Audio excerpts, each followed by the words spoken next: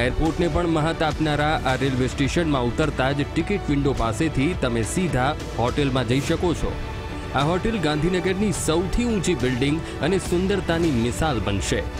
પ્રધાનમંત્રી મોદીએ railway station ઉપર બનેલ ફાઇવ સ્ટાર હોટેલનું ઉદ્ઘાટન કરતા શું કહ્યું, જરા તે પણ સાંભળો. સાથીઓ, ગાંધીનગર કા આધુનિક રેલવે સ્ટેશન इस बात का भी बहुत बड़ा प्रमाण है कि रेलवे के संसाधनों का सदुपयोग करते हुए इसको आर्थिक गतिविधियों का सेंटर भी बनाया जा सकता है। आधुनिक टेक्नोलॉजी का उपयोग करते हुए ट्रैक के ऊपर ऐसा होटल बना दिया गया है, जहाँ से रेल चलती हुई तो दिख सकती है, लेकिन महसूस नहीं होती।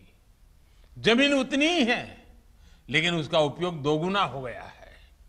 सुविधा भी बेहतरीन, पर्यटन, व्यापार और कारोबार भी उत्तम। जहाँ से रेल गुजरती है, उससे प्राइम लोकेशन भला क्या हो सकता है? अब लोग छोटी मोटी कॉन्फ्रेंस करने के लिए इस होटल का भी उपयोग करेंगे, महात्मा मंदिर के उपयोग करेंगे। यानी एक प्रकार से साल भर अनेक इवेंट्स के लिए यहाँ एक सामूहिक रूप से व्यवस्था मिल गई है।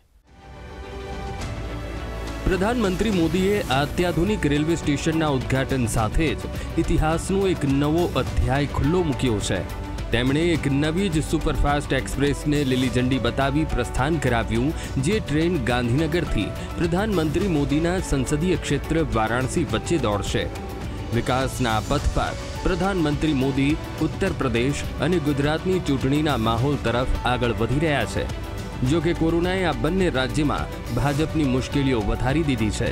તેવામાં મુશ્કેલીઓ વચ્ચે સત્તા પર ફરી કેવી રીતે આવવું તે દિશામાં પ્રધાનમંત્રી આગળ વધી રહ્યા છે. Rajendrasinh Parmar VTV news, Gandhinagar.